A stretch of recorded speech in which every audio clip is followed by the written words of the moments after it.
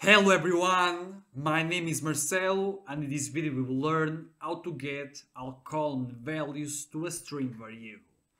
So uh, to start, let's create a data table. So let's use the activity build data table. And so let's create a simple data table with two columns. So can be the first column name and the second column age, for example.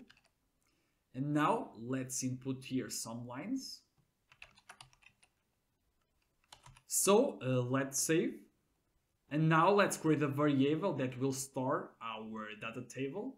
So let's here create the variable dt underscore users, for example.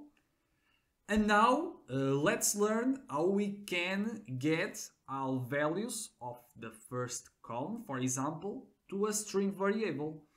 So first let's use an assign activity.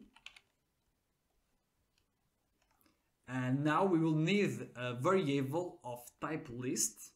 So let's create here on the variables panel a new variable with the name list underscore users, for example.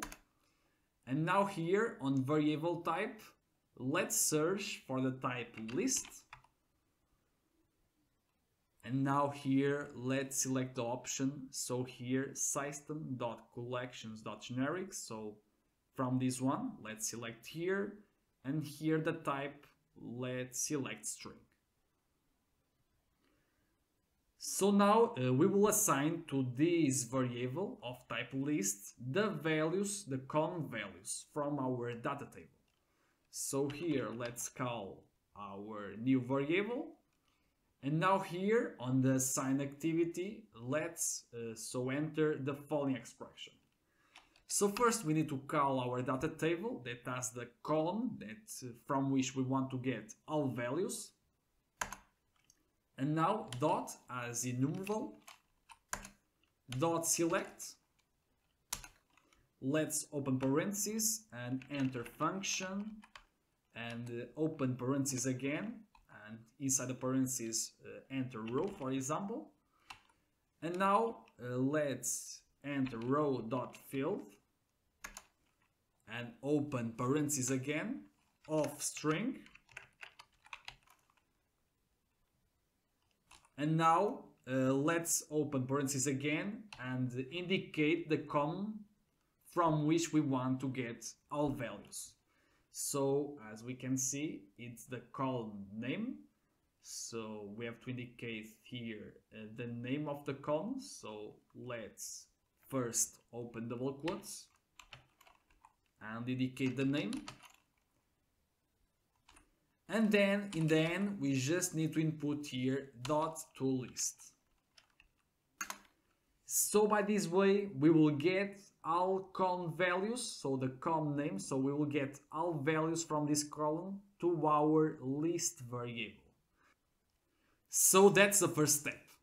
So now uh, let's use another assign activity and let's create a variable of type string, so can be str users and now let's call our variable.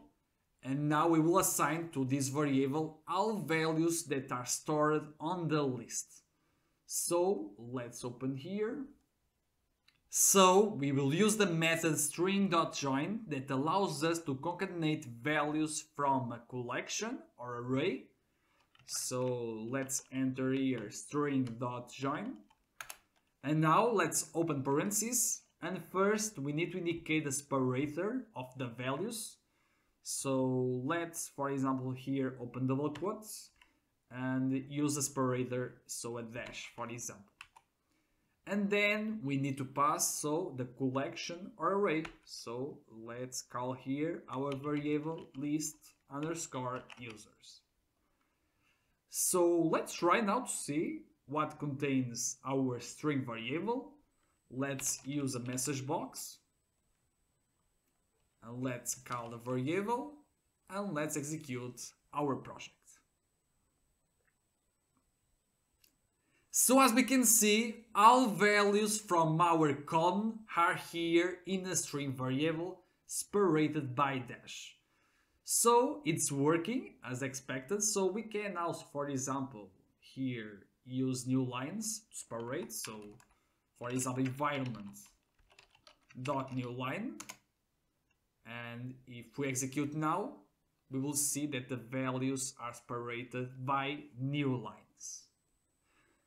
So, if you liked this video, please don't forget to leave a like on it, so it can reach more people. And also, don't forget to subscribe the channel so you don't miss any more RPA tutorials. So I'll see you on the next video.